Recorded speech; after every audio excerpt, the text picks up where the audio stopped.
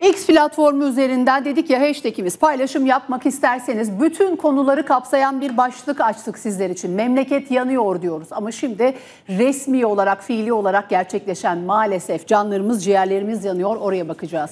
Bolu'da bir yangın var. Manisa'da, Aydın'da hepsine bakacağız. Ekrana gelecek şimdi. Arkadaşlarımdan rica edeyim Bolu'dan görüntüler geliyor önce. Anadolu Ajansı'nın görüntüleri bunlar. Memleket yanıyor hashtag ile başladık. Alevlerle Bolu'da mücadele devam ediyor. Tabii ki yalnızca Bolu'da değil efendim. Manisa, Aydın, Muğla, Karabük'te başladı.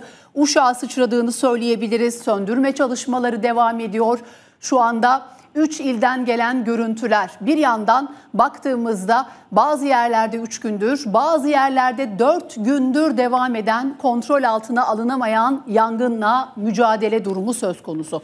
Özellikle İzmir, birazdan daha detaylı bakacağız ama İzmir'in Karşıyaka ilçesinde başlayan o yangın adım adım ilerledi, yerleşim yerlerini tehdit etti. Dün Sözcü Televizyonu'nda ekrana canlı olarak getirmiştik. Maalesef barınaklara kadar e, ilerlemişti o yangın ve hayvanseverler o canları yangından nasıl kurtardı hep birlikte Sözcü Televizyonu'nda izledik. Şu an ekranlarınıza Bolu, Muğla, İzmir'den canlı görüntüler geliyor. Türkiye'nin alevlerle mücadelesi sürüyor efendim. Tabii sıcaklıkların etkisi çok fazla. Bir yandan yapılan açıklamalara baktığımızda, Tarım Bakanı Yumaklı'nın açıklamalarına baktığımızda yangınların büyük çoğunluğunun insan kaynaklı, insan ihmalinden çıktığını, insan müdahalesiyle çıktığı sonucuna varabiliriz. Gözaltılar var. Tabii ki öncelik e, tabii ki tespit edilecek yangının çıkış amaçları ama öncelik yangınların bu 6 yerde 7 yerde yayılan Türkiye'nin her yerine neredeyse yayılan yangınların bir an evvel kontrol altına alınması. İzmir Büyükşehir Belediye Başkanı'nın bir açıklaması vardı hatırlayacaksınız. Demişti ki yeterli düzeyde biz devletten, iktidardan yardım almadık. Müdahale olabildiğince geç oldu. Biz bunu gözlemledik. Dolayısıyla onlar müdahale etmeye başladığında gün ışığında uçaklar, yangın söndürme uçakları, helikopterleri gönderildiğinde rüzgarın artmasıyla yangında hızlanmış oluyordu ifadesi Cemil Tugay'ın dikkat çekiciydi. Gece görüşlü helikopterler bir yandan konuşuluyor. Türkiye Cumhuriyeti Devleti gece görüşlü helikopterlerini neden göndermiyor şeklinde eleştiriler var. Ama baktığımızda şu anda Bolu, Muğla, İzmir'de henüz yangınların kontrol altına alınamadığı gerçeğiyle yüzleşiyoruz. Yükselen dumanlar, canlarımız maalesef birer birer yanıyor. Bugün 17 Ağustos dedik depremin üzerinden 25 yıl geçti Gölcük depreminin. Yaklaşık 20 bin insan hayatını kaybetmişti. 5 binden fazla insan kayıp olarak kayıtlara geçmişti.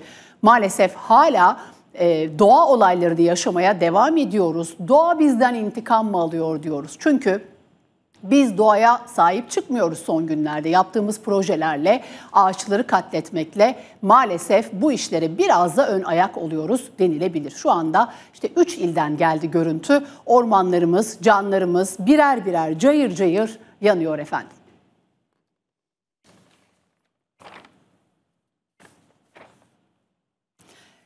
Memleket yanıyor dedik. İşte 3 ilden görüntüler geldi ekrana maalesef. Hani bakan diyor can kaybı yok. Can kaybından ne anladığımız önemli burada. Orada yaşayan ağaç da bir can, orada yaşayan hayvanlar da bir can bir an evvel önlem alınmalı. İzmir 3 gündür cayır cayır yanıyor efendim. İzmir'de başlamıştı. Çiğli ve Bayraklı ilçelerine de sıçradı yangın.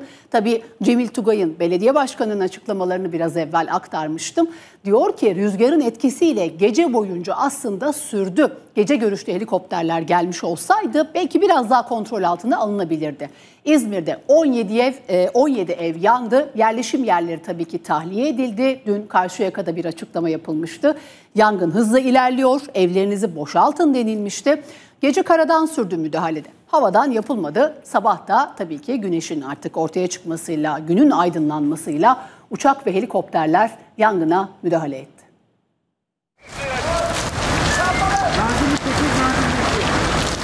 Karşıyaka'da başladı. Rüzgarın da etkisiyle hızla yayıldı. Bayraklı ve Çiğli'ye sıçradı. Gece boyu mücadele edilse de yangın kontrol altına alınamadı. Yangın çok büyüdü. Biz buradan şu an acilen uzaklaşmamız lazım. Çünkü çok hızlı bir şekilde sıçrıyor bakın. Bulunduğumuz bu noktada ilk geldiğimde böyle değildi. Rüzgarın etkisiyle bir anda harladı buraya doğru, bulunduğumuz noktaya doğru geldi. İzmir'in Karşıyaka ilçesinde bulunan Yamanlar Dağı'nda Perşembe günü piknik için yakılan ateş nedeniyle alevler yükseldi. Karadan ve havadan müdahale başladı. Ancak şiddetli rüzgar ve gece havadan müdahalenin durması yangının söndürülmesini zorlaştırdı. Şuradan boşaltınlar bir tane daha bak. Hadi. Bölgeye çevre illerden takviye ekipler gönderildi. Hatta İstanbul'dan Büyükşehir itfaiye ekipleri yola çıktı. Karşıyaka'da yükselen alevler Bayraklı ve Çiğli ilçelerine de sıçradı. Yangın yerleşim yerlerine yayıldı. Örnekköy'deki 10 katlı TOKİ binasının çatısı yandı. Bölgedeki evler tahliye edildi.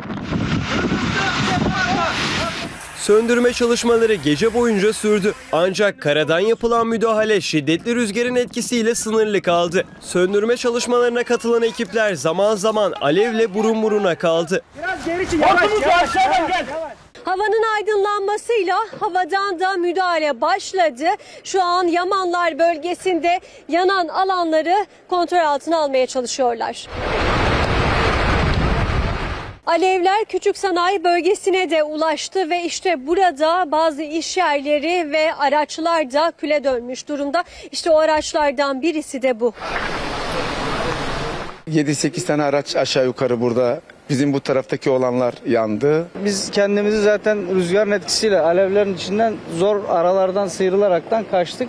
Burası Bayraklı Onur Mahallesi. Bu mahallede tam 17 ev yanarak küle döndü. Burada oturanlar evsiz kaldılar. Evler kullanılamaz halde. Onlar ne yapacağını şimdi kara kara düşünüyor. Evimiz yandı. Perişan oldu herkes, komşularımız biz. Benim çoluğum çocuğumun bütün eşyası en az 300-400 milyarlık eşyam vardı. Evlenecek çoluğum çocuğum vardı. Onların bütün eşyası hepsi yandı. Çok çok aşırı derecede hızlıydı ve yetişmenin mümkün değildi yani. 10 saat yani 10 dakika içinde her şey yok oldu gitti. Yangının güzergahında belediyeye ait çöp aktarma tesisi de vardı. Yangın saatler sonra kontrol altına alındı. Ancak tesiste zarar büyüktü.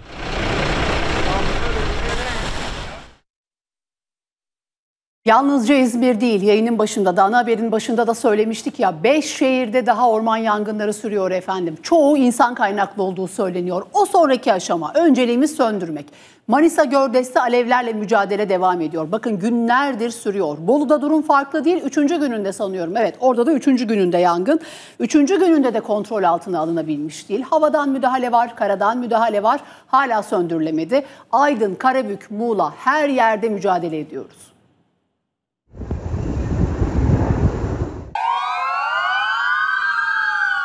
Her yıl olduğu gibi bu yazda orman yangınları ile mücadeleyle geçiyor. Bolu, Manisa, Aydın, Muğla ve Karabük'te çıkan yangınlarda ağaçlar kül oldu. Söndürme çalışmaları devam ediyor. Bolu'nun Göynük ilçesinde Bekir Fakılar mevkiinde çıkan orman yangını 3. gününde de devam ediyor. Üç köydeki bazı mahalleler tahliye edildi.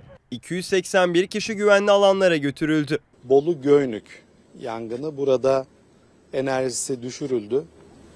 Ee, hem arazi yapısının çok sarp olması, dik yamaçlar, kanyonlar olması sebebiyle e, hava araçlarımızın ve karadan arkadaşlarımızın müdahalesi zorlukla yürüyor.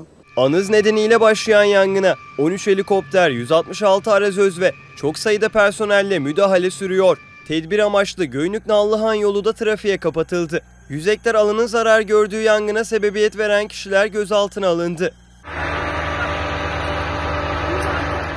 Yangının bir diğer adresi Manisa Gördes.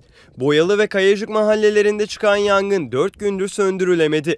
Alevlerin yaklaştığı 6 mahalle boşaltıldı. Karayakup mahallesinde cami ve birçok ev yandı. Alevlerle mücadele havadan ve karadan devam ediyor. Ne söyleyelim işte başımıza geldi. Yandı. Her şeyimiz yandı. Aydın'ın Bozdağ ilçesi de alevlere teslim oldu.